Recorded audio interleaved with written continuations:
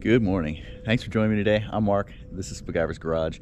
And today what we're going to be doing is working on the Jeep. We're going to start off first by replacing the wiper motor. It went out on me a few days ago. It had been failing kind of since I bought the Jeep.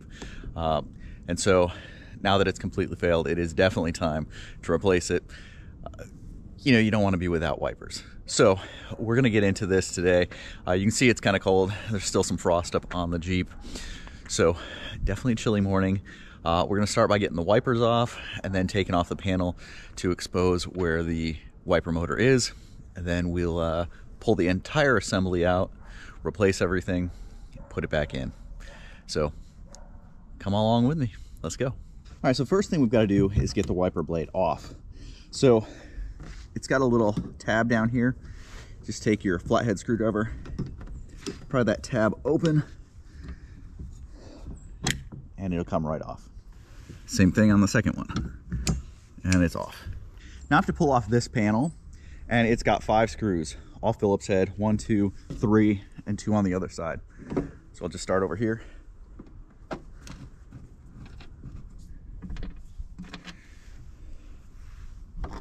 Additionally, there are two screws that you have to pull the weather stripping and find them on the front side. So you lift the hood and you can get in there to get these. All right, now that we've got those screws out, we can pull this off.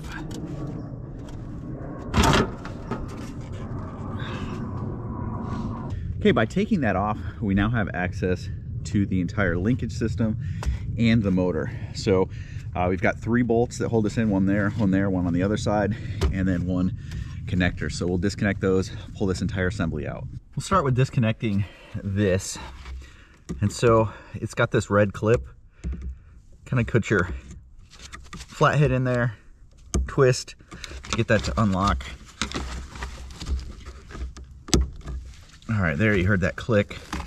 And now you can squeeze it and pull it apart. And that's that. Get that out of the way. And now it's just these three bolts. And they're 10 millimeter. So I've got my socket here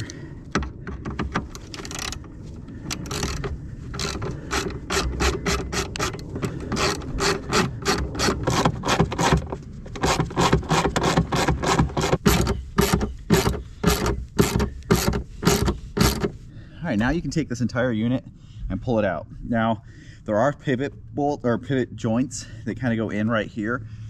So you've got to make sure that you get those out. And there you go. Entire assembly comes out like that. And now we can disconnect everything and replace the motor. All right, so we just pulled this out. On the back side, there are three bolts that hold this motor on. Uh, and then this motor has this rubber boot that if we can save, we'll go ahead and pull off. As long as it's not too brittle and doesn't crack, um, should be able to get it off and we can throw it on the new motor. These bolts are also 10 millimeter. The new motor did not come with replacement bolts, so I'm gonna make sure that I keep these. So we've actually gotta pull the linkage off of the motor anyway, so I'm just gonna disconnect this bolt and just move it out of the way.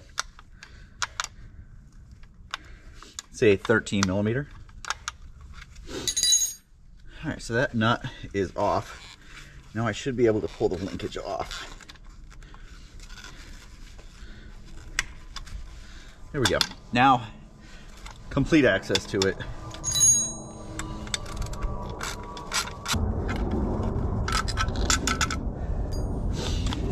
All right, now the motor is off.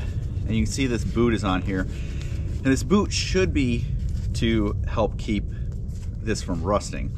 Um, there's a lot of junk in here. There's a whole lot of junk in here. That's interesting. So the boot was actually supple enough that I was able to get it off of here. Look at all the corrosion on this motor. That is crazy.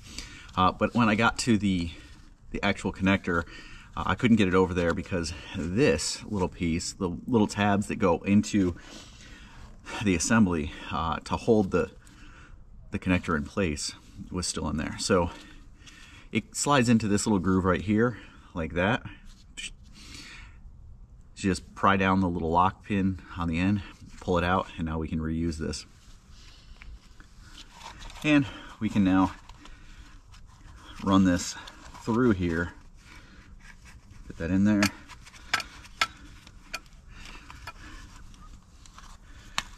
maneuver this down through. It's tight, but we'll get it. Okay, so here is the nice new motor. You see the old motor. I mean, really, look at the corrosion all the way around this thing. I mean, it is pretty bad. It's pretty nasty, flaking off. It's all bulged right there. So, nice new one. Should be an improvement. We should be back to having working wipers once we get this thing installed. So we're just gonna do everything in reverse. I'm gonna put the boot on to start, and then we're gonna get this thing installed. So let's do it.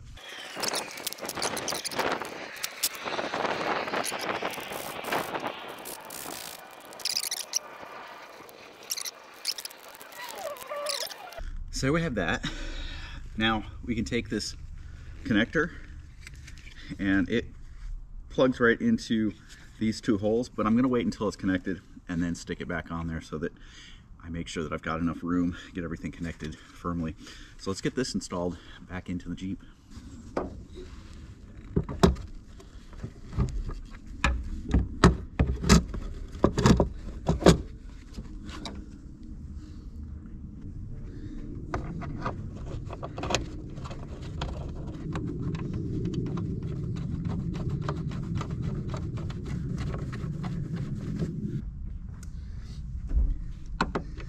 So I tightened everything kind of loosely and now I'm just going back and snugging it up.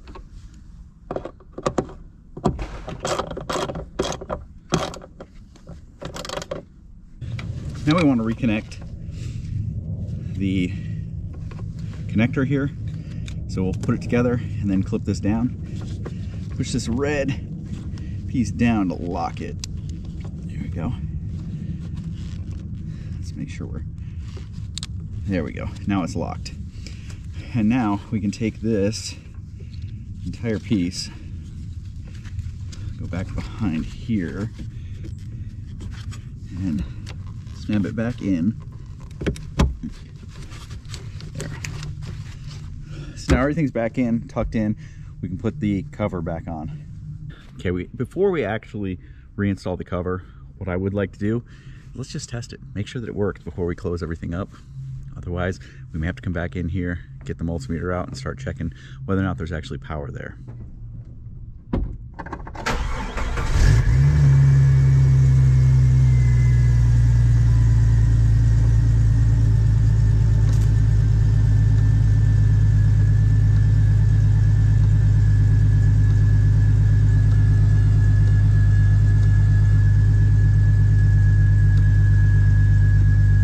That looks like it's working.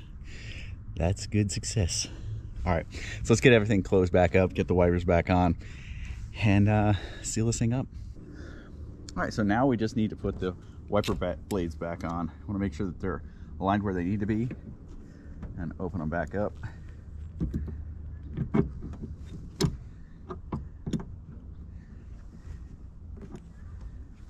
sure this is open all the way. There we go. That needs to go down one or two clicks. That's perfect. Make sure it's on all the way and then close that.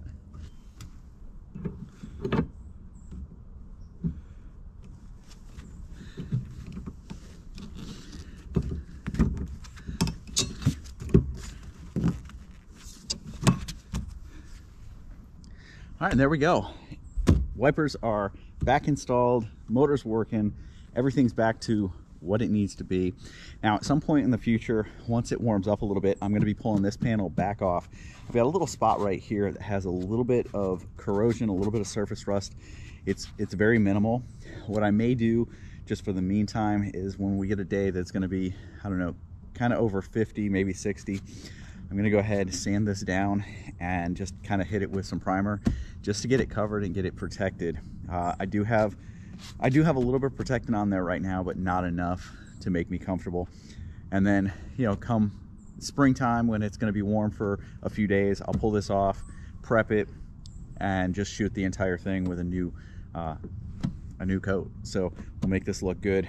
Lots of little lots of little pieces around that I need to do similar similar work to. So there you go guys. If you've got a Jeep TJ and you have a wiper motor that goes out it's really easy to replace. Definitely a DIY project, not something you want to take it anywhere and pay anyone to do. Super easy, about a half hour, in, out, done, and it's working again. So appreciate you guys checking this out. If you have any questions, any comments, leave them down below. Got some more work we're going to be doing to the Jeep later today. I'm going to go in and get some lunch, warm up a little bit, and then we'll get back at it. So I'll see you guys next time. Thanks.